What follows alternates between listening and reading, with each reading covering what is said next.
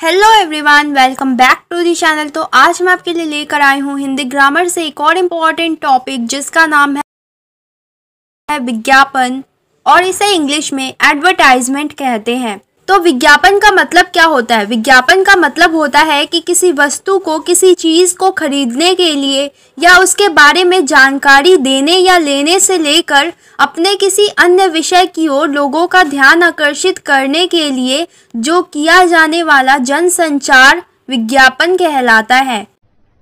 अरे कहना क्या चाहते हो? यानी कहने का मतलब यह है कि जब हम लोगों को अपने किसी वस्तु के बारे में, यानी अपने किसी चीज़ के बारे में, या फिर अपने किसी सेवा के बारे में, यानी सर्विस के बारे में बताते हैं, ताकि उनका जो ध्यान है वो आकर्षित कर सके, वही विज्ञापन कहलाता है। उसे ही हम एडवर्टाइजमेंट कहते हैं।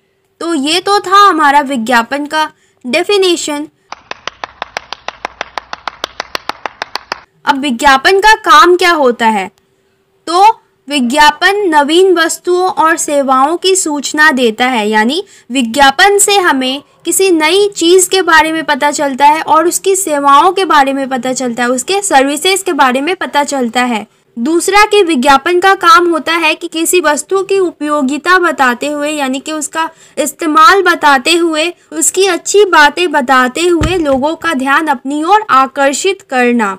तीसरा कि विज्ञापन का काम होता है कि जो उपभोक्ता होते हैं, यानी कि जो कस्टमर होते हैं, जो लोग होते हैं, उनके अंदर इस वस्तु के प्रति रुचि, यानी कि इंटरेस्ट और विश्वास पैदा करना। चौथा काम होता है विज्ञापन का, कि हमारा जो विज्ञापन है, वो लोगों को आसानी से याद रहे। यानी कि ऐसा नहीं कि कुछ ऐसा विज्ञापन बना दिया जो लोग भूल गए। तो हमें कुछ ऐसा विज्ञापन बनाना चाहिए जो लोगों को याद रहे। तो विज्ञापन जो है वो लोगों के स्मृति को प्रभावित करता है। पांचवा की जो विज्ञापन होता है, उसमें हम कुछ छूट आदि के बारे में जानकारी देते हैं, ताकि उसकी जो मांग है वो बढ़ती रहे, यानी कि उसका जो डिमांड है वो बढ़ता रहे। छठा की विज्ञापन जो है वो अन्य उत्पाद कंपनियों के उत्पादनों की तुलनात्मक जानकारी देता है। यानी कि विज्ञापन में हमें यह कहा जाता है कि हमारा ये जो वस्तु है, वो दूसरे कंपनियों से बहुत ही अच्छा है, श्रेष्ठ है। तो ऐसी जानकारियाँ हमें विज्ञापन में मिलती है।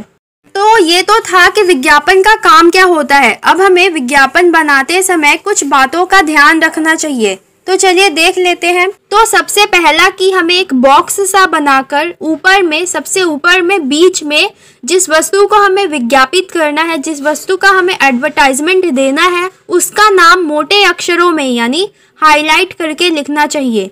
दूसरा कि दाएँ या फिर बाएँ, यानी कि लेफ़्ट या राइट कोई भी किनारों पर सेल धमाका, खुशखबरी, खुल गया जैसे लुभावने शब्दों को लिखना चाहिए। तीसरा कि बाईं ओर, यानी कि लेफ़्ट हैंड साइड में, बीच में, जो वस्तु हम विज्ञापित कर रहे हैं, यानी जिस वस्तु का हम एडवर्टाइजमेंट दे रहे हैं, उसके गुणों का उल्लेख करना चाहिए, यानी उसके अच्छी बातों को लिखना चाहिए। चौथा की दाहिनी ओर यानी कि राइट हैंड साइड में बीच में हमें उस वस्तु का एक बड़ा सा चित्र देना चाहिए। पांचवा की स्टॉक सीमित है या फिर जल्दी करें, ऐसे प्रेरक शब्दों का प्रयोग किसी डिज़ाइन में होना चाहिए। छठा की मुफ़्त मिलने वाले सामानों या फिर छूट का उल्लेख अवश्य किया जाना चाहिए। कि आपको ये मुफ़्त मिल रहा है या फिर ये छूट है, इतने परसेंट का छूट है तो ये बात जो है वो अवश्य लिखा होना चाहिए। सातवा की ऊपर ही जगह देखकर हमें छोटी सी कोई तुकबंदी लिख देना चाहिए, जिससे जो पढ़ने वाला है वो आकर्षित हो जाए। और आठवां की संपर्क करें। संपर्क करने के लिए कोई कांटेक्ट ईमेल आईडी हो गया या फिर फ़ोन नंबर हमें ये सब देना चाहिए, लेकिन अपना पर्सनल फ़ोन नंबर कभी नहीं देना चाहिए। तो ये तो थी कुछ बातें जो हमें विज्ञापन बनाते वक्त ध्यान में रखनी चाहिए। तो चलिए अब हम विज्ञापन का एक उदाहरण देख लेते हैं ताकि आपको विज्ञापन जो है वो अच्छे से बनाना आ जाए। तो हमें एक हेलमेट जो है वो बेचना है और हमें उसका एक विज्ञापन तैयार करना है। तो हम कुछ ऐसे बनाएँगे।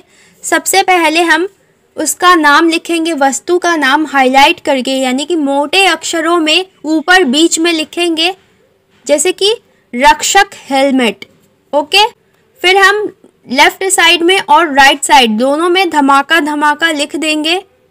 फिर हम लेफ़्ट साइड में, बीच में, हम उसका गुण लिखेंगे, मज़बूत, हल्के, टिकाऊ, आकर्षित रंग एवं डिज़ाइन तो ये उसके गुण हो गए। फिर हम दाहिने में, यानी कि राइट हैंड साइड में, बीच में उसका एक चित्र दे देंगे।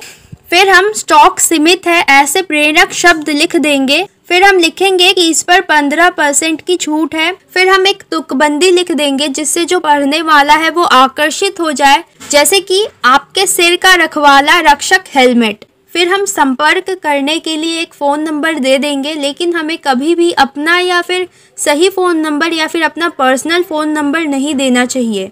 फ़ोन नंबर की जगह पर कोई ईमेल आईडी भी दे सकते हो संपर्क करने के लिए। तो ये तो था हमारा विज्ञापन। आई होप आप लोग को समझ में आ गया होगा। जिसका नाम है संदेश लेखन। यानी जिसे प्यार से इंग्लिश में मैसेज राइटिंग कहते हैं।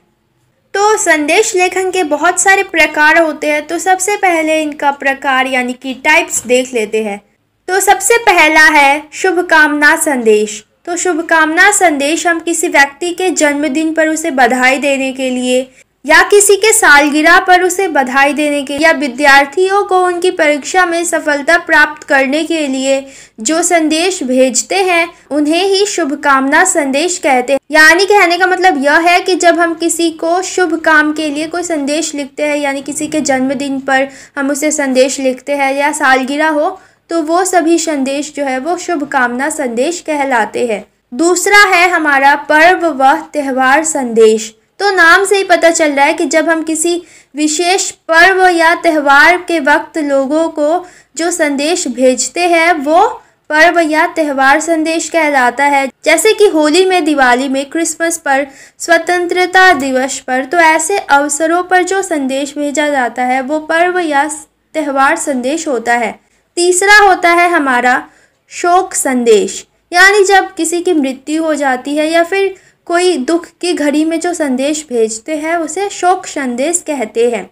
चौथा होता है व्यक्तिगत संदेश।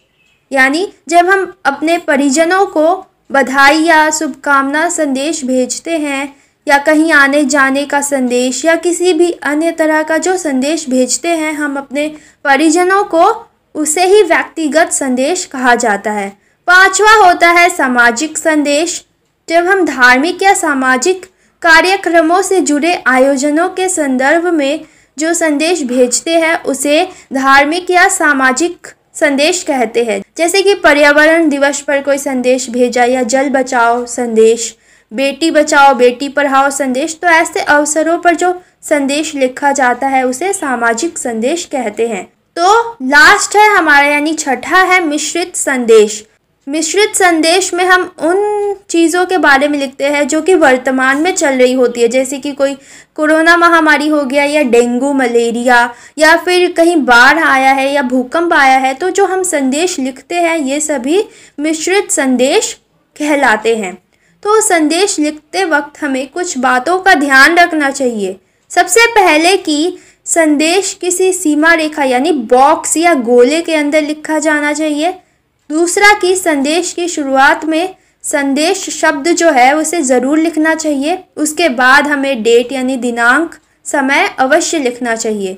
तीसरा कि जो हमारा मुख्य विषय है यानी कि जो मेन टॉपिक है, उसके बारे में कम शब्दों में प्रभावशाली उसका वर्णन करना चाहिए। यानी कि कम शब्दों में, लेकिन अच्छे से उसका वर्णन करना चाहिए कम शब्दों में। चौथा कि अंत में संदेश लिखने वाले का नाम लिखना चाहिए। पांचवा की संदेश लेखन की सीमा 30 से 40 शब्द के बीच में होना चाहिए। इससे ज़्यादा या इससे कम नहीं होना चाहिए। छठा की अगर आपको लगता है कि इसमें पिक्चर या चित्र बनाना ज़रूरी है तो आप उसके टॉपिक के अनुसार ऐसा कर सकते हो। सातवां की अगर शायरी, दोहे, श्लोक या कविता की आवश्यकता हो तो आप इनका इस्तेमाल भी कर सकते हो।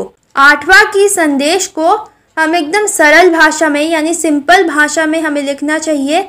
और जो हमारा टॉपिक है उसके अनुसार ही लिखना चाहिए। नौवा के विषय के अनुसार रंगों का प्रयोग किया जा सकता है। जैसे कि अगर हमारा विषय हुआ, हमारा टॉपिक हुआ स्वतंत्रता दिवस तो उस टाइम पर हम केसरी रंग, हरा रंग का इस्तेमाल कर सकते हैं। और दसवा की संदेश के अंदर इधर उधर की बातें नहीं लिखकर केवल विषय, यानी कि जो टॉपिक है उसी के बारे में लिखना चाहिए और उसी पर ध्यान देना चाहिए। तो ये तो थी कुछ बातें जो हमें संदेश लिखते वक्त याद रखना चाहिए। अब संदेश लेखन का फॉर्मेट सबसे मेन होता है। तो देख लेते हैं फॉर्मेट इसका। तो सबसे पहले हम संदेश लिखते हैं। फिर एक लाइन छोड़कर दिनांक यानी कि डेट लिखते हैं। फिर समय लिखते हैं। फिर संबोधन और फिर विषय के बारे में लिखते हैं और फिर लास्ट में अपना नाम लिखते हैं। ये रहा आपके लिए कुछ एग्ज़ाम्पल जिसमें अनौपचारिक और औपचारिक दोनों ही संदेश है। तो तो पहला उदाहरण है हमारा, स्वतंत्रता दिवस के शुभ अवसर पर देशवासियों के लिए एक संदेश लिखे। तो सबसे पहले हम विषय लिख लेंगे, स्वतंत्रता दिवस पर शुभकामना संदेश। फिर हम एक पिक्चर दे देंगे, कोई फ्लैग वगैरह बना लेंगे, चित्र एक। फिर हम लिखेंगे दिनांक, यानी कि डेट फिर समय लिखेंगे फिर हम अपना विषय लिखेंगे। तो सबसे पहले हम संबोधन लिखेंगे। समस्त देशवासियों को स्वतंत्रता दिवस की हार्दिक शुभकामनाएँ। फिर हम अपना विषय लिखेंगे। आइए स्वतंत्रता दिवस के शुभ अवसर पर हम सब मिलकर अपने देश को विकास के मार्ग पर अग्रसर करने का दृढ़ संकल्प लेते हैं। और फिर अपना नाम लिखेंगे। क, ख, ग, जो भी हो। और ये सब कुछ एक बॉक्स के अंदर होना चाहिए। एक और उदाहरण जन्म दिवस पर शुभकामना संदेश। तो सबसे पहले हम अपना विषय लिखेंगे जन्म दिवस पर शुभकामना संदेश। फिर हम एक शायरी दे देंगे, तुम जियो हज़ारों साल साल के दिन हो पचास हज़ार। फिर आप एक पिक्चर दे सकते हो, एक चित्र दे सकते हो। फिर आप डेट लिखोगे, यानी दिनांक लिखोगे, फिर समय लिखोगे, फिर आप संबोधन लिखोगे, मेरे प्रिय मित्र। जन्मदिन की हार्दिक शुभकामनाएँ। फिर आप विषय लिखोगे। आप दीर्घायु हो, स्वस्थ रहे और जीवन में निरंतर उन्नति के मार्ग पर अग्रसर रहे, यही मेरी ईश्वर से प्रार्थना है। और फिर लास्ट में अपना नाम लिखोगे और ये सब कुछ एक बॉक्स के अंदर होना चाहिए। और हमारा जो संदेश है वो तीस से चालीस वर्ड के बीच में ही होना चाहिए। तीस से चालीस शब्दों के बीच में ही होना चाहिए। तो ये था हमारा संदेश लेखन। आई होप आप लोगों को समझ में आया हो ईमेल लेखन। तो चलिए बिना देर किए वीडियो को शुरू करते हैं। तो ईमेल यानी जिसे इलेक्ट्रॉनिक मेल कहते हैं और जब हम किसी को डिजिटली कोई लेटर यानी पत्र लिखते हैं तो वही हमारा ईमेल होता है। ईमेल के बारे में आप लोग जानते ही होंगे।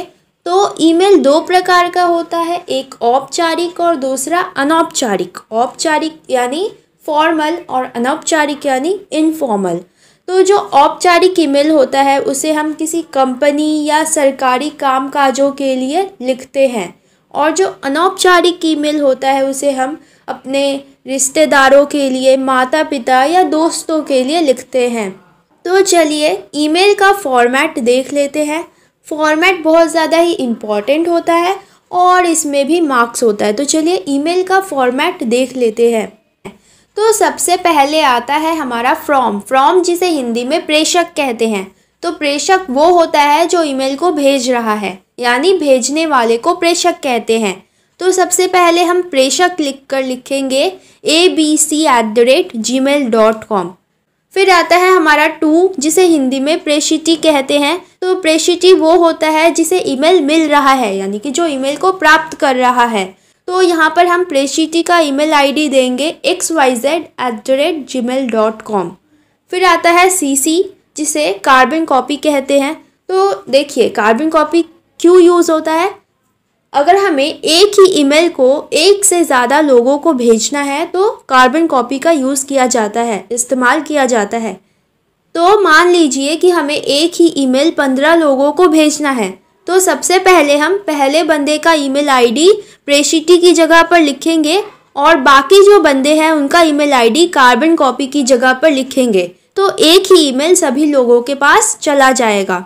और एक और बात कि आपने जिन लोगों को भी ईमेल भेजा है, आपने जिन पंद्रह लोगों को ईमेल भेजा है, उन सभी को पता रहेगा कि उनके अलावा और किन किन चौदह लोगों के पास वो ईमेल गया है। नेक्स्ट आता है हमारा B C C B C सी जिसे ब्लाइंड कार्बन कॉपी कहते हैं. तो ब्लाइंड कार्बन कॉपी में उन लोगों का ईमेल आईडी होता है जिन्हें हमें ईमेल भेजना तो है, लेकिन हम नहीं चाहते कि बाकी लोगों को पता चले कि हमने इन्हें भी ईमेल सेंड किया है. जैसे कि मान लीजिए कि ए बी सी डी ये चार लोग हैं और इन चारों को हमें ईमेल भेजना है. तो सबसे पहले हम ए की ईमेल आईडी जो है वो टू की जगह पर, यानी प्रेशिटी की जगह पर लिखेंगे और बी सी की ईमेल आईडी हम सी सी की जगह पर, यानी कार्बन कॉपी की जगह पर लिखेंगे। लेकिन जो डी बंदा है, उसे भी हम ईमेल भेजना चाहते हैं, लेकिन हम नहीं चाहते कि ए बी सी ये जो तीनों हैं, इनको पता चले कि हमने डी को भी ईमेल भेजा है। इसलिए हम डी की जो ईमेल आईडी है, उसे बी सी सी यानी ब्लाइंड कार्बन कॉपी की जगह पर उसकी ईमेल आईडी लिखेंगे। जिससे जब हम ईमेल भेज देंगे तो ए बी सी इन तीनों को पता रहेगा कि हाँ इन तीनों के पास ही एक ही ईमेल पहुँचा है। लेकिन उनको ये पता नहीं रहेगा कि इन तीनों के अलावा डी के पास भी सेम ईमेल जो है, वो गया है। तो ऐसे बी सी सी यानी ब्लाइंड कार्बन कॉपी का इस्तेमाल किया जाता है। तो एक और इंपॉर्टेंट बात कि आपको एग्ज़ाम में सी सी या बी सी सी लिखने की ज़रूरत नहीं है, क्योंकि वहाँ पर आपको एक ही बंदे को ईमेल लिखने के लिए आएगा। एक से ज़्यादा लोगों को ईमेल लिखने के लिए नहीं आएगा। तो आपको बी सी सी और सी सी का इस्तेमाल नहीं करना है। तो अब आपका फॉर्मेट जो है वो कुछ ऐसे हो जाएगा कि प्रेसिटी यानी टू के बाद जो है आपका सीधा विषय आ जाएगा। और जो सी और बी सी सी है, वो नहीं होंगे। तो विषय में आपको जिस टॉपिक के ऊपर आपको ईमेल लिखना है, उस टॉपिक का नाम पाँच से सात शब्दों में लिखना होता है। इससे ज़्यादा शब्द का इस्तेमाल मत करना, ओके? तो विषय के बाद हम संबोधन लिखते हैं, जैसे श्रीमान जी, महोदय जी, प्रिय, आदरणीय चाचा जी।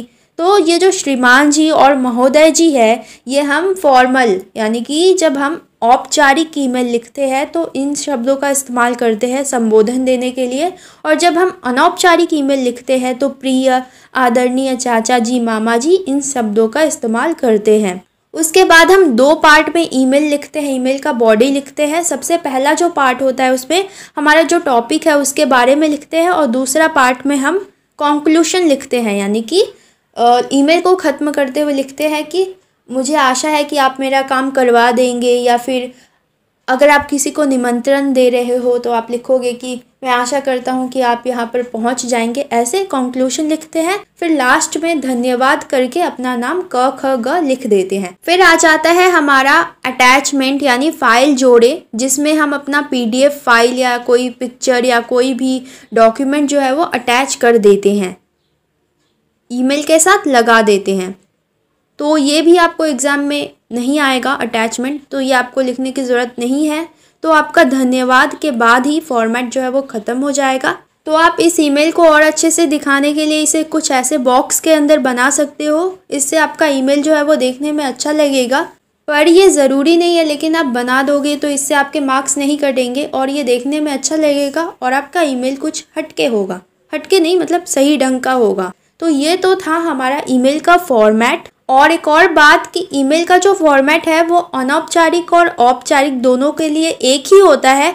लेकिन इसमें जो डिफरेंस होता है, जो अंतर होता है, वो ये होता है कि जब हम बॉडी लिखते हैं ईमेल का, यानी कि जब हम औपचारिक ईमेल लिख रहे होते हैं तो उसमें हम एक अलग तरह के भाषा का इस्तेमाल करते हैं। और जब हम अनौपचारिक ईमेल यानी कि जब हम अपने दोस्तों को या फिर माता पिता को ईमेल लिख रहे होते हैं तो उसमें हम जैसे बात करते हैं, वैसे ही ईमेल लिख देते हैं। लेकिन जब हम औपचारिक ईमेल लिखते हैं तो उसमें एक सही ढंग से भाषा का इस्तेमाल करते हैं। तो यही बस औपचारिक और अनौपचारिक ईमेल में अंतर होता है। तो चलिए एक औपचारिक और एक अनौपचारिक ईमेल का उदाहरण देख लेते हैं, ताकि आपको ईमेल में कोई भी प्रॉब्लम ना हो। तो पहला क्वेश्चन है हमारे पास, मान ले कि आपको अपने किसी साथी को, यानी कि मित्र को, अपने जन्मदिन समारोह में आमंत्रित करना है तो इस पर आपको एक ईमेल लिखना है।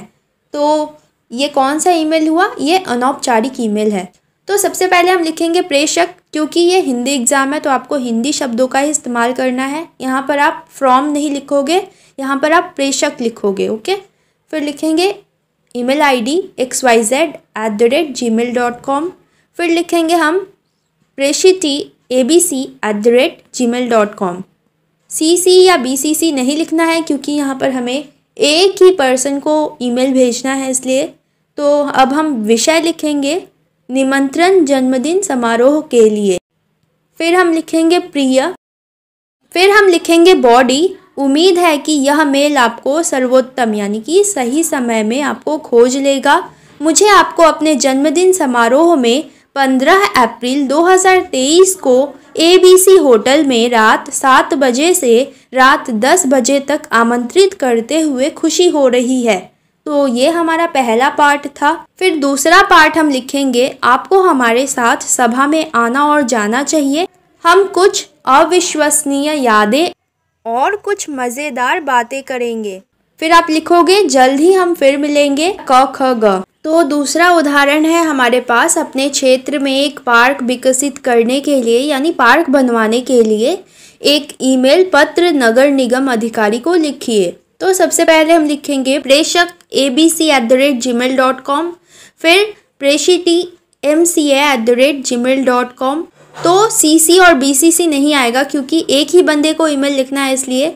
तो हमारा विषय आ जाएगा इसके बाद, क्षेत्र में पार्क विकसित करने हेतु फिर हम लिखेंगे, निगम उद्यान अधिकारी। फिर हम अपना बॉडी कुछ ऐसे शुरू करेंगे, महोदय, मैं वाराणसी ज़िले के हैप्पी होम कॉलोनी का निवासी हूँ। हमारी कॉलोनी के आसपास नगर निगम का कोई पार्क नहीं है। पार्क ना होने के कारण जो परेशानी होती है उसके बारे में आप लिखोगे कि पार्क ना होने के कारण इस क्षेत्र के नागरिक स्वस्थ जीवन नहीं जी पा रहे हैं, क्योंकि पार्क की वजह से ही वायु शुद्ध मिलती है और सुबह टहलने के लिए स्थान मिलता है। पार्क ना होने के कारण बच्चे खेल नहीं पाते हैं। स्वस्थ जीवन के लिए पेड़ पौधे और पार्कों का बहुत बड़ा महत्व होता है। फिर आप सेकेंड पार्ट यानी कि कॉन्क्लूशन कुछ ऐसे लिखोगे। इसलिए हम सभी प्रबुद्ध नागरिक आपसे अनुरोध करते हैं कि इस क्षेत्र में हरा भरा एक पार्क विकसित करने की कृपा करें। पार्क के लिए खाली पड़ी सरकारी ज़मीन का उपयोग किया जा सकता है। पार्क विकसित करने की उचित कार्यवाही शुरू करने की कृपा करें। इसके लिए आपकी अति कृपा होगी। फिर आप लिखोगे, धन्यवाद, भवदिया। फिर अपना नाम, अ, ब, स। फिर आप बॉक्स बना देना, इस ईमेल को बॉक्स में कर देना। इससे आपका ईमेल जो है, बहुत अच्छा लगेगा। तो ये था हमारी ईमेल राइटिंग आई होप आप लोग को समझ में आ गया होगा। फॉर्मेट जो है, वो अच्छे से देख लेना। फॉर्मेट बहुत ज़्यादा इंपॉर्टेंट है फॉर्मेट के लिए भी मार्क्स होता है। पत्र लेखन। तो किसी का हाल चाल पूछने के लिए हम संदेश भेजते हैं तो संदेश भेजने के लिए हम पत्र का इस्तेमाल करते हैं। लेकिन आज के समय में ईमेल या फ़ोन से ही संदेश तुरंत पहुँचाया जा सकता है। लेकिन फिर भी पत्र जो है, वो आज भी लिखे जाते हैं और भेजे जाते हैं। तो पत्र लिखते समय हमें कुछ बातों का ध्यान देना चाहिए। सबसे पहला कि पत्र में अनावश्यक बातें लिखने या किसी बात को दोहराने से बचना चाहिए। दूसरा कि पत्र का विषय स्पष्ट होना चाहिए। तीसरा कि पत्र लिखते समय कम से कम शब्दों में अधिक से अधिक बात कहने की कोशिश करनी चाहिए। चौथा कि पत्र की भाषा सरल होनी चाहिए, यानी ऐसी भाषा होनी चाहिए जो सबको समझ में आए।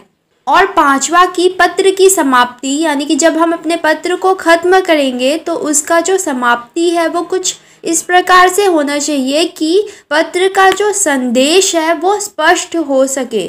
तो ये तो थी कुछ बातें जो हमें पत्र लिखते वक्त ध्यान में रखनी चाहिए। तो पत्र जो है, वो दो प्रकार के होते हैं। पहला होता है औपचारिक पत्र और दूसरा होता है अनौपचारिक पत्र। तो औपचारिक पत्र, यानी जो पत्र हम प्रधानाचार्य को, किसी अधिकारी को, संपादक यानी कि एडिटर को, पुस्तक विक्रेता यानी बुक सेलर आदि को किसी विशेष कारण के लिए लिखते हैं, वे सभी पत्र जो है वो औपचारिक पत्र होते हैं। और अनौपचारिक पत्र यानी जो पत्र हम अपने मित्रों को, अपने संबंधियों को लिखते हैं, वे सभी पत्र अनौपचारिक पत्र होते हैं। तो चलिए सबसे पहले औपचारिक पत्र का फॉर्मेट देख लेते हैं। तो औपचारिक पत्र का फॉर्मेट कुछ ऐसे होता है, सबसे पहले हम जिसको पत्र लिख रहे हैं, उसका पद लिखते हैं। उसके बाद हम संस्था का नाम, यानी जहाँ पत्र भेज रहे हैं, उस संस्था का नाम लिखते हैं, फिर हम शहर का नाम लिखते हैं। फिर एक लाइन छोड़ के हम विषय लिखते हैं और फिर एक लाइन छोड़ के हम संबोधन लिखते हैं, जैसे कि श्रीमान जी, आदरणीय, महोदय, महोदया। फिर हम बॉडी लिखते हैं लेटर का जो बॉडी होता है वो लिखते हैं और फिर हम एक लाइन छोड़ के धन्यवाद लिखते हैं और फिर एक लाइन छोड़ के भवदीय, भवदिया, आज्ञाकारी आज्ञाकारिणी लिखते हुए अपना नाम लिखते हैं। तो ये तो था हमारा औपचारिक लेटर का फॉर्मेट तो औपचारिक पत्र कई प्रकार के होते हैं। एक होता है शिकायती पत्र, जिसमें हम शिकायत करने के लिए पत्र लिखते हैं। दूसरा होता है व्यवसायिक पत्र, जिसमें हम व्यापार से संबंधित पत्र लिखते हैं। तीसरा होता है आवेदन या प्रार्थना पत्र, जिसमें हम प्रार्थना करने के लिए पत्र लिखते हैं, यानी प्रार्थना करते हुए पत्र लिखते हैं। जैसे कि हमें छुट्टी चाहिए प्रधानाचार्य जी से तो ये सारे जो पत्र होते हैं, वो आवेदन पत्र कहलाते हैं। और एक और होता है, संपादक को लिखे जाने वाला पत्र, यानी कि जब हम किसी एडिटर को, न्यूज़पेपर के एडिटर को पत्र लिखते हैं तो वो सभी संपादक पत्र होते हैं। तो चलिए जल्दी से इन सभी पत्र के एक एक उदाहरण देख लेते हैं, ताकि आपको पत्र जो है वो अच्छे से क्लियर हो जाए और इनके फॉर्मेट भी अच्छे से क्लियर हो जाए। तो चलिए तो ये हमारे पास शिकायती पत्र का एक टॉपिक है कि अपने मोहल्ले के पोस्टमैन की कार्यशैली का वर्णन करते हुए पोस्ट मास्टर को शिकायती पत्र लिखिए। तो पत्र लेखन के फॉर्मेट के अकॉर्डिंग सबसे पहले हमें जिसे पत्र भेजना है, उसके पद का नाम लिखना होगा। तो हमें पोस्ट मास्टर को पत्र भेजना है तो सबसे पहले हम लिखेंगे पोस्ट मास्टर फिर हम संस्था का नाम लिखेंगे, जो कि होगा उप डाकघर, पोखर, खाली। फिर हमें एक शहर का नाम लिखना होगा, अपने अनुसार हम शहर का नाम लिख देंगे, अल्मोड़ा। फिर हम एक लाइन छोड़ के विषय लिखेंगे। विषय होगा हमारा पोस्टमैन की कर्तव्य विमुखता के संबंध में। फिर हम एक लाइन छोड़ के महोदय लिखेंगे, फिर हम पत्र का जो बॉडी है वो लिखेंगे कि मैं आपका ध्यान मोहल्ला दुंगाधारा के पोस्टमैन की कर्तव्य विमुखता की ओर आकर्षित करना चाहता हूँ, या चाहती हूँ। इस मोहल्ले के निवासियों की शिकायत है कि यहाँ डाक कभी भी समय से नहीं बटती है। अतः यहाँ के निवासियों को बड़ी असुविधा होती है। आपसे निवेदन है कि इस मामले की जानकारी प्राप्त करके उचित कार्यवाही करने की कृपा करें, ताकि इस समस्या का निवारण हो सके। फिर हम एक लाइन छोड़ के धन्यवाद लिखेंगे। फिर एक लाइन छोड़ के भवदीय, फिर अपना नाम क, ख, ग और फिर अपना एड्रेस, यानी कि पता लिखेंगे, जो कि कुछ ऐसे होगा। पंद्रह दुंगाधारा अल्मोड़ा, उत्तराखंड। फिर हम दिनांक लिखेंगे, यानी जिस दिन हम पत्र लिख रहे हैं, उस दिन का डेट लिख देंगे। तो कुछ ऐसे हमारा शिकायती पत्र लिखा जाता है। और एक और इम्पोर्टेंट बात की, हमने जो ये एड्रेस लिखा है अपना, ये एड्रेस आप सबसे स्टार्टिंग में लिख सकते हैं कुछ ऐसे। तो ये भी फॉर्मेट जो है वो सही है। तो दूसरा उदाहरण है हमारे पास व्यवसायिक पत्र का। तो इसका टॉपिक है कि आपको कुछ पुस्तकों की आवश्यकता है। नागरी प्रचारिणी सभा वाराणसी के व्यवस्थापक को सूचित करते हुए शीघ्र पुस्तक भिजवाने हेतु एक पत्र लिखिए। तो यहाँ पर हमें एड्रेस दे रखा है, हमें किसको पत्र लिखना है, ये भी दे रखा है और साथ ही उसका एड्रेस यानी पता भी दे रखा है। तो सबसे पहले हमें किसको पत्र भेजना है? हमें व्यवस्थापक को पत्र भेजना है। तो सबसे पहले हम लिखेंगे सर्वश्री व्यवस्थापक और फिर हम एड्रेस यानी उसका पता लिखेंगे, जो कि है नागरी प्रचारिणी सभा, वाराणसी, उत्तर प्रदेश। और फिर हम एक लाइन छोड़ के विषय लिखेंगे, जो कि है पुस्तक मंगवाने हेतु। फिर हम एक लाइन छोड़ के महोदय लिखेंगे, फिर हम पत्र की जो बॉडी है, जो विषय है, उसके बारे में लिखेंगे। निवेदन है कि मुझे निम्नलिखित पुस्तकों की आवश्यकता है। कृपया इन्हें शीघ्र ही बीपी डाक द्वारा लिखे गए पते पर भेज दे। बीपी आते ही छुड़ा ली जाएगी। फिर आप पुस्तक का नाम, उसके लेखक का नाम और आपको कितनी कॉपियाँ चाहिए, कितनी प्रतियाँ चाहिए, वो आपको मेंशन करना पड़ता है, वो आपको लिखना पड़ता है। तो हम हिंदी व्याकरण हमें पुस्तक का नाम लिखेंगे और इसके कवि, लेखक का नाम पंडित कामता प्रसाद गुरु और इसकी प्रतियाँ, यानी इसकी एक कॉपी चाहिए हमें, एक प्रति। फिर हम हिंदी का सरल भाषा, विज्ञान और इसके लेखक का नाम गोपाल लाल खन्ना। और इसकी भी हमें एक प्रति चाहिए, यानी एक कॉपी चाहिए। तो ऐसे ही आप कुछ किताबों का नाम, उनके लेखक का नाम और आपको कितनी प्रतियाँ, यानी कितनी कॉपीज चाहिए, आप लिख देना। तो ये हमारे पुस्तक का नाम लेखक और प्रतियाँ हो गई। फिर हम एक लाइन छोड़ के धन्यवाद, एक लाइन छोड़ के भवदीय, फिर अपना नाम क, ख, ग तो याद रहे कि अगर आप बोर्ड एग्ज़ाम में लिख रहे हो तो आपको अपना नाम मेंशन करने की ज़रूरत नहीं होती है। आपको क, ख, ग लिखना है। फिर आप अपना पता लिख दोगे। उन्नीस कौशलपुरी, कानपुर और फिर नीचे दिनांक, यानी कि डेट।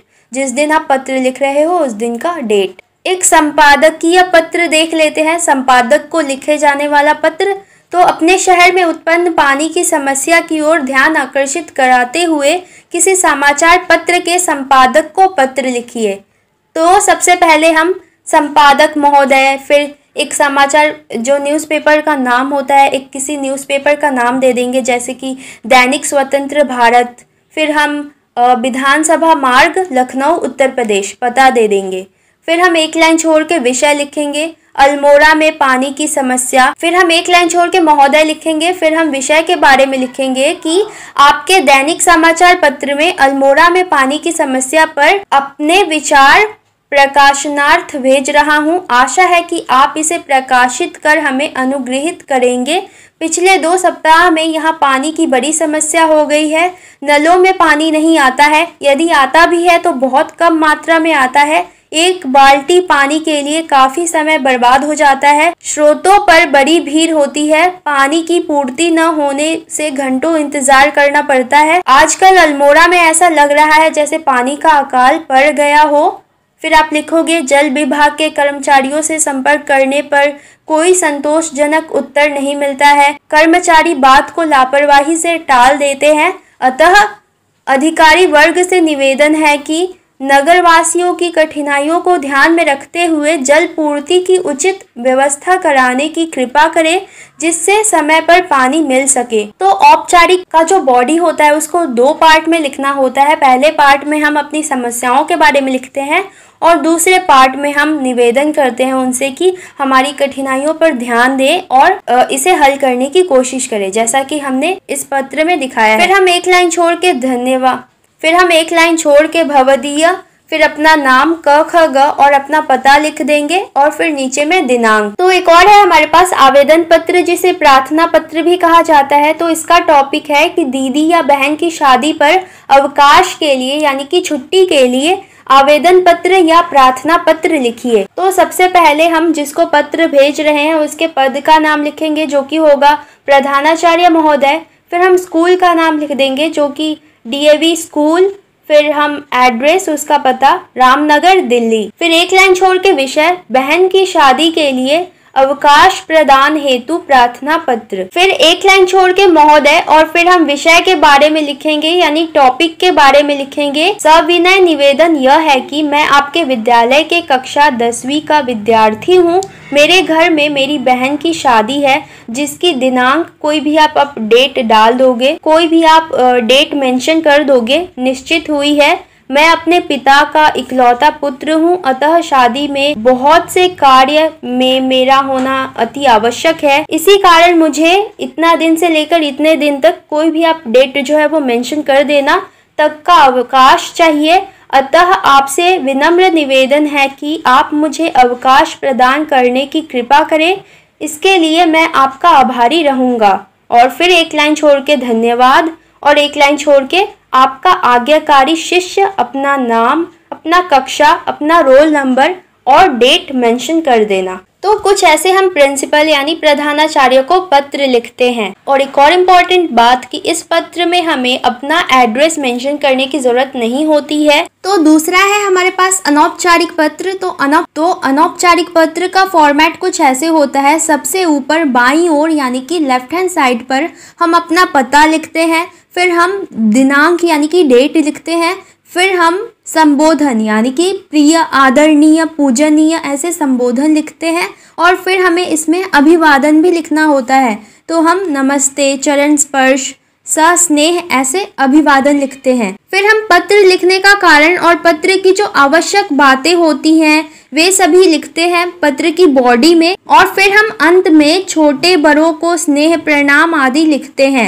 फिर अपना नाम लिखकर पत्र समाप्त कर देते हैं। तो ये तो था अनौपचारिक पत्र का फॉर्मेट तो चलिए इसका भी एक उदाहरण देख लेते हैं। तो हमारे पास टॉपिक है, रुपए भेजने के लिए पिता को पत्र लिखिए। तो सबसे पहले हम अपना पता यानी कि एड्रेस लिखेंगे, चौक, भोपाल, मध्य प्रदेश। फिर एक लाइन छोड़ के डेट यानी दिनांक लिखेंगे। यानी जिस दिन हम लेटर लिख रहे हैं, उस दिन का दिनांक लिखेंगे। फिर एक लाइन छोड़ के संबोधन, जैसे कि आदरणीय पिताजी फिर अभिवादन, सादर प्रणाम, फिर अपना बॉडी का पहला अनुच्छेद, पहला लाइन मैं आशा करता हूँ कि आप सभी कुशल मंगल होंगे, मैं भी यहाँ सकुशल हूँ। फिर अपना दूसरा अनुच्छेद मेरी वार्षिक परीक्षाएँ नज़दीक आ रही हैं, जिसकी वजह से मैं पढ़ाई पर पूरा ध्यान दे रहा हूँ। हमारे कॉलेज में भी पढ़ाई जोरों शोरों से चल रही है, ताकि सभी विद्यार्थी वार्षिक परीक्षाओं में अच्छे अंक ला सके। हमें प्रतिदिन गृह कार्य दिया जाता है और रोज उसकी जाँच भी की जाती है। कई प्रकार के परियोजना कार्य भी हमसे बनवाए जा रहे हैं, ताकि हम परीक्षा के लिए अच्छे से तैयार हो सके। हाल ही में कॉलेज में हमें एक बड़ा परियोजना कार्य मिला है, जिसे पूरा करने के लिए मुझे एक हज़ार रुपये की ज़रूरत है। यह परियोजना कार्य इसलिए भी महत्वपूर्ण है क्योंकि इसके अंक हमारे अंक पत्र में जोड़े जाएँगे। इसलिए कृपया मुझे एक हज़ार रुपये भेज दें। मैं आपसे वादा करता हूँ कि मैं रुपयों का बिल्कुल भी गलत इस्तेमाल नहीं करूँगा। फिर आप तीसरा अनुच्छेद लिखोगे। माँ को मेरा प्रणाम और छोटे भाई को ढेर सारा प्यार। फिर एक लाइन छोड़ के आपका बेटा या बेटी फिर आपका नाम क ख ग। तो ये था हमारा पत्र लेखन का वीडियो। आई होप आप लोगों को समझ में आ गया होगा। अनुच्छेद लेखन और इसे इंग्लिश में पैराग्राफ राइटिंग कहते हैं। तो चलिए शुरू करते तो अनुच्छेद यानी जब हमें कोई एक टॉपिक एक विषय दिया होता है और हमें उसके ऊपर लिखना होता है।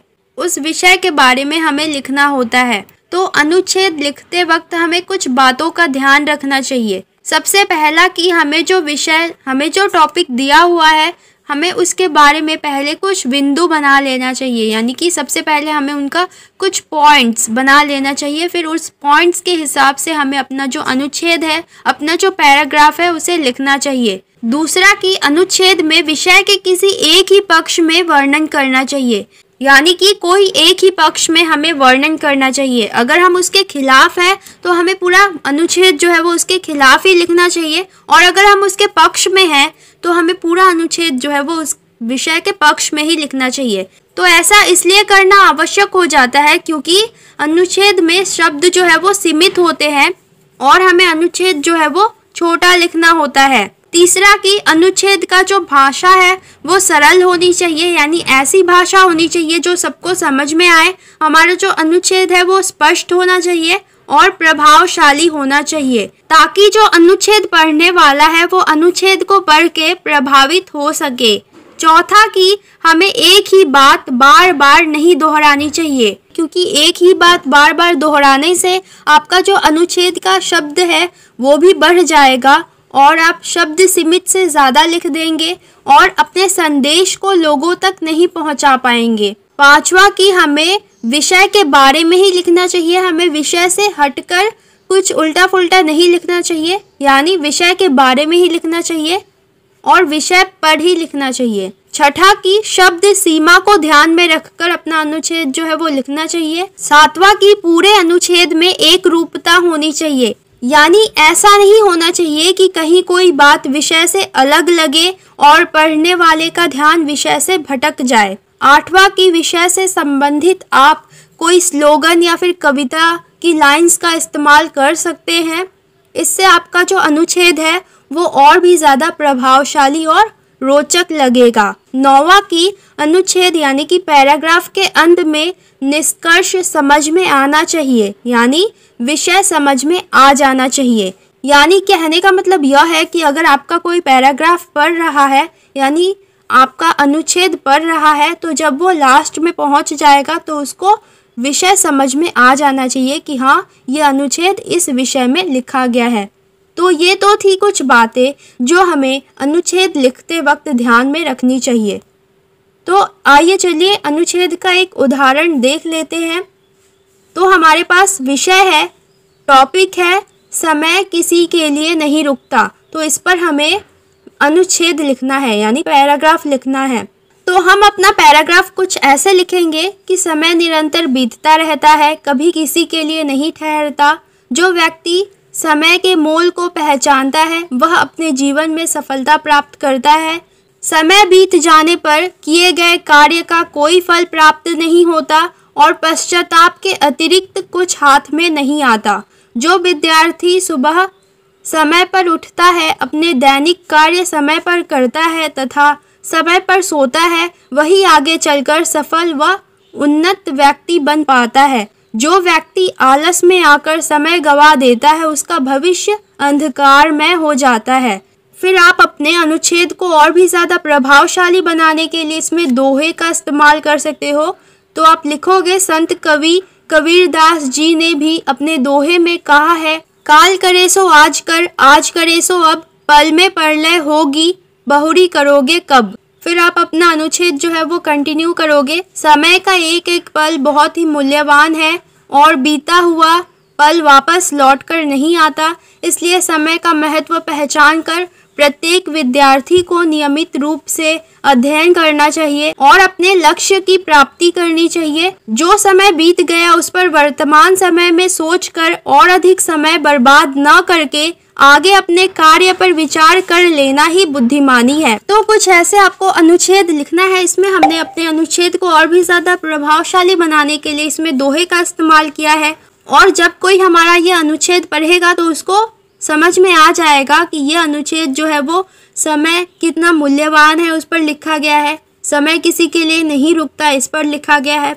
तो कुछ ऐसे ही आपको अनुच्छेद लिखना है, इसकी भाषा भी जो है वो सरल है, यानी सबको समझ में आए, ऐसा है। तो कुछ ऐसे ही आपको अनुच्छेद लिखना होता है। तो ये था हमारा अनुच्छेद लेखन पर वीडियो। आई होप आप लोगों को समझ में आ गया होगा। स्ववृत्त लेखन, और इसे इंग्लिश में बायोडेटा भी कहते हैं। तो स्ववृत्त यानी बायोडेटा होता है। तो जब आप किसी नौकरी के लिए जा रहे होते हो तो उसमें आपको अपना स्ववृत्त दिखाना पड़ता है, अपना बायोडेटा दिखाना पड़ता है, जिसमें आपके बारे में जानकारियाँ होती है कि आपका नाम क्या है, आपके माता पिता का नाम क्या है, आपकी उपलब्धियाँ क्या है, आपकी जो शैक्षणिक योग्यता है, यानी कि आपने कितनी शिक्षा प्राप्त की है, किस विश्वविद्यालय या बोर्ड से प्राप्त की है, आपके कितने प्रतिशत अंक आए थे। तो इन सभी के बारे में उसमें जानकारियाँ होती है। तो चलिए, स्ववृत्त लेखन का फॉर्मेट यानी कि बायोडेटा का फॉर्मेट देख लेते हैं। उससे पहले दो इंपॉर्टेंट बात, आप जो स्ववृत्त लेखन लिखते हो, उसमें आपको पूरी ईमानदारी के साथ लिखना पड़ता है, यानी किसी भी प्रकार का झूठ उसमें आपको नहीं देना होता है। यानी आपकी जो जानकारियाँ आप फिलअप करोगे, जो अपने बारे में आप बायोडेटा लिखोगे, उसमें आपको एकदम सच सच लिखना होता है। किसी भी प्रकार का कोई झूठ बात नहीं लिखनी होती है। और दूसरा बात की अपने व्यक्तित्व, ज्ञान और अनुभव के सबल पहलुओं पर ज़ोर देना चाहिए। यानी कि आपकी जो पर्सनालिटी आपके जो ज्ञान है, यानी आपकी जो शिक्षा है और आपका जो अनुभव, यानी एक्सपीरियंस है, इन सभी के ऊपर आपको ज़्यादा ज़ोर देना चाहिए। तो चलिए स्ववृत्त लेखन का फॉर्मेट देख लेते हैं। तो स्ववृत्त लेखन का फॉर्मेट कुछ ऐसे होगा। सबसे पहले आप अपना नाम लिखोगे, फिर पिता का नाम, फिर माता का नाम फिर जन्म तिथि यानी कि आपका जो बर्थ डेट है वो फिर वर्तमान पता, यानी कि जिस पते पर आप प्रेजेंट में रह रहे हो, उसका वो एड्रेस आपको लिखना है। फिर आपका मोबाइल नंबर फिर आपका ईमेल आईडी फिर भाषाओं का ज्ञान, यानी कि आपको जो जो लैंग्वेजेस आती है, उनका नाम लिखना है। फिर राष्ट्रीयता, यानी नेशनलिटी फिर आपका कार्य अनुभव, यानी कि आपको कितने साल का एक्सपीरियंस है वो, और फिर आपको शैक्षणिक योग्यता, यानी कि आपकी जो एजुकेशनल क्वालिफिकेशन है, यानी कि आपने कितना शिक्षा प्राप्त की है, उसको आपको एक बॉक्स में लिखना होता है। तो बॉक्स कुछ ऐसे बनेगा, सबसे पहले आएगा क्रम संख्या, यानी सीरियल नंबर फिर कक्षा, फिर वर्ष, यानी कौन से वर्ष में आपने कौन सी कक्षा जो है वो पास की है वो, फिर बोर्ड या विश्वविद्यालय का नाम, फिर विषय, यानी किन विषयों के साथ आपने पास किया है, फिर प्रतिशत, यानी कि आपके परसेंटेज कितने परसेंटेज आपको आए थे? कितने परसेंट आपने, आपको मिला था? तो ऐसे अपना शैक्षणिक योग्यता, यानी कि अपना एजुकेशनल क्वालिफिकेशन एक बॉक्स के अंदर आपको देना होता है। फिर आपको अन्य संबंधित योग्यताएँ लिखना होता है, यानी कि आपने इसके अलावा क्या किया है? फिर आपको उपलब्धियाँ लिखना होता है, यानी कि आपने क्या अचीव किया आपको कोई पुरस्कार वगैरह मिला है, वो सब कुछ लिखना होता है। फिर आपका अभिरुचि, यानी कि इंटरेस्ट लिखना होता है। फिर आपको उद्घोषणा बीच में ऐसे इस वर्ड को लिखकर लिखना होता है, मैं प्रमाणित करता हूँ कि मेरे द्वारा उपरोक्त सभी सूचनाएँ सत्य एवं पूर्ण हैं। यानी कि आपने जो कुछ भी लिखा है, वो सही सही लिखा है। फिर आपको अपना स्थान और दिनांक लिखना होता है। लेफ़्ट साइड में और राइट साइड में आपका हस्ताक्षर, यानी कि आपका नाम लिखना होता है। तो ये तो था स्ववृत्त लेखन का फॉर्मेट तो इसे अच्छे से समझने के लिए आपके लिए एक उदाहरण। तो चलिए उदाहरण देख लेते हैं। तो आपके पास क्वेश्चन है कि सर्वोदय बाल विद्यालय गोल मार्केट दिल्ली में हिंदी विषय पीजीटी पीजीटी यानी पोस्ट ग्रेजुएट ट्रेंड टीचर का पद रिक्त है, यानी खाली है। तो विज्ञापन के अनुसार अपनी योग्यता का विवरण प्रस्तुत करते हुए शिक्षा निर्देशक को आवेदन पत्र प्रस्तुत करें। तो आवेदन पत्र के साथ साथ आपको अपना स्ववृत्त भी लिखना है, क्योंकि यहाँ पर कहा गया है कि अपनी योग्यता का विवरण प्रस्तुत करते हुए। तो आपको अपना स्ववृत्त भी लिखना है, उससे पहले आपको अपना आवेदन पत्र लिखना है। एक और इंपॉर्टेंट बात कि अगर आपके एग्ज़ाम में आपसे पूछा जाता है कि आवेदन पत्र लिखना है तो आप आवेदन पत्र लिखना, वरना आपको लिखने की ज़रूरत नहीं है। आप सिर्फ़ स्ववृत्त लिख कर आ जाना, यानी अपना बायोडेटा जो है, वो लिख कर आ जाना। तो आवेदन पत्र यानी इसे औपचारिक पत्र की तरह ही लिखना है। ये पत्र है, आवेदन पत्र है तो ये औपचारिक पत्र में होगा। तो देख लेते हैं। तो आवेदन पत्र आप कुछ इस तरह से लिखोगे। सबसे पहले आप सेवा में शिक्षा निर्देशक और उनका एड्रेस दे दोगे। शिक्षा निर्देशालय, पुराना सचिवालय, दिल्ली, एक एक ज़ीरो ज़ीरो पाँच तीन। फिर एक लाइन छोड़ के विषय लिखोगे। पीजीटी हिंदी पद के लिए आवेदन पत्र। फिर एक लाइन छोड़ के, महोदय, फिर मैं अपना नाम दे दोगे? जैसे कि गीतांजलि शर्मा, कुछ वर्षों से दिल्ली सरकार के विद्यालय में संविदा शिक्षक के रूप में बतौर काम कर रही हूँ। मुझे ज्ञात हुआ सर्वोदय बाल विद्यालय गोल मार्केट में हिंदी पीजीटी का पद रिक्त है। फिर एक लाइन छोड़ के, मैं इस पद के लिए उचित योग्यता रखती हूँ। यह मेरे घर से भी निकट है। फिर एक लाइन छोड़ के, अतः श्रीमान से निवेदन करना चाहती हूँ कि मुझे सर्वोदय बाल विद्यालय गोल मार्केट में बतौर हिंदी प्रवक्ता के पद पर नियुक्त करने की कृपा करें। फिर एक लाइन छोड़ के, धन्यवाद। फिर एक लाइन छोड़ के, निर्वेदक। फिर अपना नाम, गीतांजलि शर्मा। फिर अपना एड्रेस 302 गोल मार्केट, नई दिल्ली, एक एक ज़ीरो ज़ीरो एक। ठीक है? दिनांक, यानी कि डेट लिख दोगे। जैसे कि चार मार्च 2023 एक और इंपॉर्टेंट बात कि आपने जो अभी आवेदन पत्र बनाया, उसमें आपने जो नाम लिखा था, उसकी जगह पर आप क, ख, ग लिखना, वो बेस्ट रहेगा। तो अब हम अपना स्ववृत्त बनाते हैं। सबसे पहले हम अपना नाम लिखेंगे। नाम की जगह आप क, ख, ग लिखना, फिर पिता का नाम अ, ब, स माता का नाम च छ ज। फिर जन्म तिथि लिखना, यानी कि कोई भी डेट लिख देना। फिर आप वर्तमान पता लिखोगे, जैसे कि तीन ज़ीरो दो गोल मार्केट, नई दिल्ली, एक एक ज़ीरो ज़ीरो एक। जो हमने अपने आवेदन पत्र में पता लिखा था, वही पता आप लिखोगे। फिर आपको मोबाइल नंबर लिखना पड़ेगा तो मोबाइल नंबर आप कुछ ऐसे लिखोगे, ऐसे लिख देना। फिर ईमेल लिखोगे आप A B C at the rate Gmail dot com फिर भाषाओं का ज्ञान जो आपको भाषा आती है, वो लिख देना उनका नाम, जैसे कि हिंदी, अंग्रेज़ी, संस्कृत, ठीक है?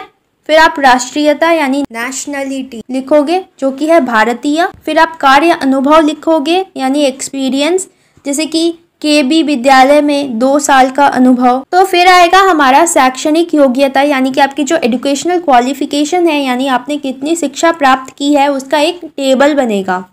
तो सबसे पहले कॉलम में आएगा क्रम संख्या, यानी कि सीरियल नंबर फिर दूसरे कॉलम में कक्षा, तीसरे कॉलम में वर्ष, चौथे कॉलम में बोर्ड या विश्वविद्यालय का नाम, पांचवे में विषय और छठा कॉलम में आएगा प्रतिशत, यानी कि परसेंटेज तो टेबल को आप जॉब के क्वालिफिकेशन के अकॉर्डिंग आपको फिल करना होगा तो हमें यहाँ पर हिंदी शिक्षक के रूप में जाना है। तो हिंदी हमारा जो मेन सब्जेक्ट है तो हिंदी होना ही चाहिए। तो सबसे पहले आप लिखोगे क्रम संख्या में नंबर वन कक्षा में लिखोगे दसवीं, वर्ष सपोज़ आपने दसवीं 2006 में पास की, फिर बोर्ड जो है सीबीएसई फिर विषय हिंदी, अंग्रेज़ी, सामाजिक, विज्ञान, गणित ओके और प्रतिशत सेवेंटी टू परसेंट फिर क्रम संख्या दो में बारहवीं और वर्ष लिखोगे 2008 फिर सीबीएसई बोर्ड फिर विषय लिखोगे हिंदी, अंग्रेज़ी, इतिहास, अर्थशास्त्र और इसका प्रतिशत 86 परसेंट ओके फिर वैसे ही क्रम संख्या थ्री आ जाएगा। कक्षा स्नातक वर्ष 2011 बोर्ड या विद्यालय, दिल्ली यूनिवर्सिटी और आपका विषय हिंदी, अंग्रेज़ी और प्रतिशत 69 वैसे ही क्रम संख्या चार बीए 2012 वर्ष हो जाएगा। बोर्ड या विद्यालय, दिल्ली यूनिवर्सिटी और विषय हिंदी और प्रतिशत 93 फिर वैसे ही क्रम संख्या पाँच कक्षा एम ए, वर्ष 2014 और बोर्ड या विद्यालय दिल्ली यूनिवर्सिटी। ये अपना विषय हिंदी और प्रतिशत 79 तो ये हमारा टेबल जो है वो कंप्लीट हो गया। तो कुछ ऐसे ही आपको टेबल जो है वो फिल करना है। फिर आएगा हमारा अन्य योग्यताएँ। यानी इसके अलावा आपने क्या किया है? कंप्यूटर में एक वर्ष का डिप्लोमा, हिंदी, अंग्रेज़ी, जर्मनी, स्पेनिश भाषा की जानकारी, योगा के क्षेत्र में छः माह का प्रशिक्षण। तो आप कुछ भी लिख देना ओके कोई दो या एक पॉइंट लिख देना। फिर उपलब्धियाँ, यानी कि आपने क्या अचीव किया, आपको क्या पुरस्कार वगैरह मिले हैं? तो तो विद्यालय स्तर पर एनसीसी में उच्च प्रशिक्षण। भारत को जानो, प्रतियोगिता में राज्य स्तर पर द्वितीय पुरस्कार। गणतंत्र दिवस परेड में भाग लेने का पुरस्कार। तो ऐसे आप उपलब्धियाँ लिख देना। फिर आएगा हमारा अभिरुचि, यानी आपको किस चीज़ में इंटरेस्ट है तो संगीत सुनना, पुस्तक पढ़ना, ऐसे आप लिख देना। फिर आएगा उद्घोषणा तो ये जो वर्ड है, उद्घोषणा, इसको मिडिल में लिख के आप लिखना कि मैं प्रमाणित करती हूँ या करता हूँ कि मेरे द्वारा उपरोक्त सभी सूचनाएँ सत्य एवं पूर्ण है। स्थान और दिनांक लिखना, स्थान दिल्ली, और दिनांक हो जाएगा चार मार्च 2023 और राइट साइड में अपना हस्ताक्षर, यानी आपका नाम क, ख, ग, ओके? तो ये था हमारा स्ववृत्त बनाने का फॉर्मेट उदाहरण के साथ। तो यहाँ पर जो हमने स्ववृत्त बनाया, आप एग्ज़ाम में यही स्ववृत्त लिख सकते हो। बस आपको टेबल जो है वो चेंज करना पड़ेगा, यानी आपको जो टॉपिक दिया रहेगा उसके अनुसार आपको टेबल जो है वो फिल करना पड़ेगा। बाकी सभी चीज़ें जो है वो आप सेम लिख सकते हो। तो ये था हमारा स्ववृत्त। आई होप आप लोगों को समझ में आ गया होगा। फॉर्मेट जो है देख लेना। तो आज के लिए बस इतना ही। मिलते हैं नेक्स्ट वीडियो में। तब तक के लिए हँसते रहिए, खुश रहिए।